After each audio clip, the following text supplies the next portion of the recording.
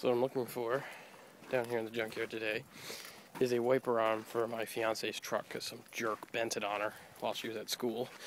Oh, and look, here's her truck right now. I don't know if we have a good wiper arm though. Looks like they're missing. Sucks. Also need an antenna. Because they bent that too.